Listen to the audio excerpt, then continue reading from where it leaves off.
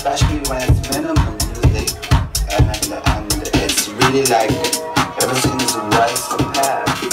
The frequencies of the sounds are well compared to each other and there are not so much things.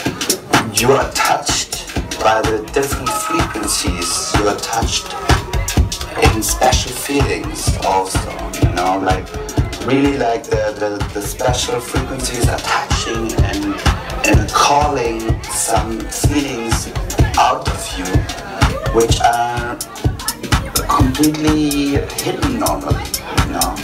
And then you, you hear the music and you start to think about your childhood, you start to think about some problems you or you you feel some incredible things, you know.